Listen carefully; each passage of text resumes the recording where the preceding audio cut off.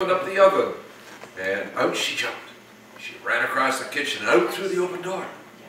Little old couple chased after her, calling, Stop, stop, come back. You're our little gingerbread girl.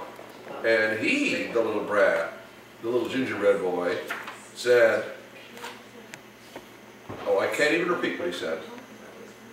He ran on with his cheeky smile and he called back to them, Run, run as fast as you can. You can't catch me. I'm the gingerbread girl. And the poor, poor old granddad and Nana really couldn't run fast enough to catch him. Aww. On and on ran the little gingerbread girl out of the town and into the fields until she met a cow. Good old cow said, Moo, stop, little gingerbread girl, I want to eat you up. Well, the cow was honest, wasn't she? But the little gingerbread girl ran on. I can run faster than Granddad and Nana, and I'm going to run faster than you. Run, run as fast as you can. You can't catch me. I'm the gingerbread girl. Right?